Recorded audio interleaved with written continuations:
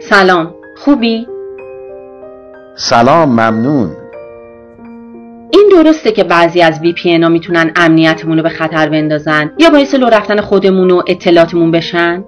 آره کاملا درسته بعضی از وی پی ان ها ساخت نهادهای امنیتی هستن و از کاربرا جاسوسی می‌کنن چطور می‌تونم تو دام این وی پی ان های مشکوک نیفتم و فقط از وی پی ان های امن استفاده کنم؟ پیشنهاد می‌کنم از سرویس بشکن استفاده کنی که همیشه وی پی ان های امن رو معرفی می‌کنه. خیلی ممنون. حتما. کافیه بشکن رو توی تلگرام یا اینستاگرام search کنی.